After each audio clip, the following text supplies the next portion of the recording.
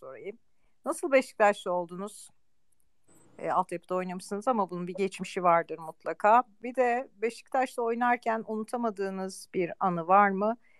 E, eğer o yoksa e, bu altyapıdan çıkan çocukları hani size takip ediyorsunuz. Biz böyle bir anda çok göklere çıkartıyoruz, bir anda indiriyoruz. Az önce bir tecrübenizden bahsettiniz. Ona bağlı olarak şey mi yani bu bu bu ilgiyi, alakayı e, yönetememe durumu olabilir mi bu genç çocukların? Yani nasıl olumlu mu, olumsuz mu etkisi olur? E, bir de kısa kısa onlara cevap alırsam. Çok soru sordum. İsterseniz birkaçına cevap vermeyebilirsiniz. Yo yo hemen şey yapabilirim. Ee, altyapı yani ben Beşiktaş'ta başladığım için 9 yaşında özellikle şundan dolayı bundan dolayı değil. Beşiktaşlı doğdum bir kere yani artık burada şey yapmak istemiyorum.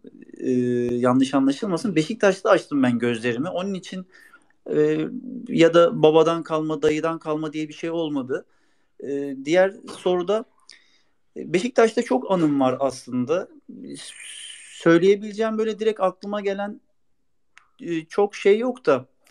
Ya orada oradaki her anım çok önemliydi benim ya. Böyle direkt belki şu anda sorulduğu için aklıma gelmiyordur. Muhtemelen vardır çok e, derin anılar ama diğer e, en son soruda da genç oyuncularla alakalı birazcık az önce de bahsettik.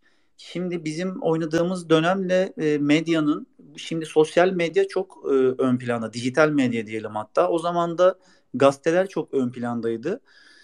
E, o dönemi ben kendi açımdan mesela bir maçta Ankara gücü maçı e, ben birazcık normal vasat oynamıştım. Ertesi gün rejenerasyon itmanı yaparken e, biraz yüzüm düşüktü. Çünkü köşe yazılarını okuyorduk. İşte herkes bana birazcık tabiri caizse giydirmişti. Şöyle oynadı, böyle oynadı. Ben de bundan alınmıştım. Antrenmanda suratım düşmüş. Tigana bunu görünce tercümanını çağırıyor işte. Benim odama gelsin antrenmandan sonra. Gittim odasına. Hayırdır suratın neden düşük bu kadar? E dedim e, bütün gazeteler bana sallamış. Herkes kötü konuşuyor hakkımda ve burada 18-19 yaşındayım. Genç bir oyuncuyum. Gazeteleri gösterdi bana. Bunlar mı seni oynatıyor dedi. Ben mi seni oynatıyorum dedi. Siz oynatıyorsunuz hocam dedim.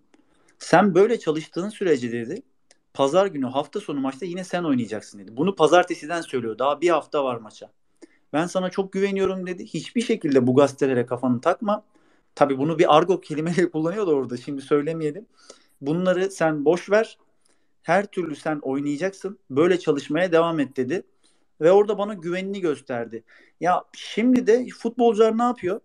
E, maçı oynuyorlar. Gol attıysa, asist yaptıysa ya da iyi oynadı veya kötü oynadı. Her halükarda giriyor sosyal medyaya, Twitter'a bakıyor, Instagram'a bakıyor. Etkileşim almış mıyım? Benim hakkımda birisi bir şey söylemiş mi? E sonucunda ne oluyor?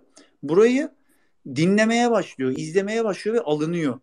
Belki bir tane birisi buradan ona bir kötü söz söylüyor, buradan alınıyor. E burayı yönetemeyince artık içten içe strese giriyor ve o ortamı kaldıramıyor, yönetemiyor ve sahanın içinde gerçek performansını e, gösteremiyor.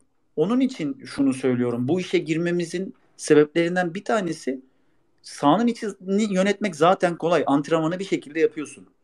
Beslenmeni doğru yaparsan, uykunu doğru yaparsan, e, dışında da mental desteği iyi alırsan e, çok iyi bir futbolcu olmanın önünde bir engel yok. Yani bu, burada seni kimse tutamaz. Yeteneklerin, potansiyelin varsa tabii. Yani bu yeteneksiz bir oyuncuysan yine bir yerde patlarsın. Mental açıdan şu anda onu söyleyebilirim. Sorunuza cevap. ederim. Yani profesyonellik orada başlıyor aslında değil mi? Biraz işte kulak kapatmak falan, duymazdan gelmek. Kes, kesinlikle. Evet. Anıyla, anıyla evet. sorunun cevabını bir arada aslında vermiş oldunuz. Çok evet. teşekkür ederim. Evet, Çok sağ olun. Evet. Ben aşağıya iniyorum. Ben teşekkür ederim. Yani artık e, ufak detaylar başarıları belirliyor ya. Futbolda şey ama şimdi oyunculara gidip desek şimdi 10 senedir bir oyuncumuz var. Şimdi herkes anlıyor. Ona gidip desek ki bak kardeşim sen zaten yetenekli bir adamsın. Antrenman da yapıyorsun. E, muhakkak ki beslenmene ve uykuna dikkat ediyorsundur ama senin bir destek alman lazım. Sosyal medya yönetmedir, dijital medya neyse adı veya spor psikoloğu veya mental koç, yaşam koçu neyse destek alırsan daha sen 28-29 yaşındasın.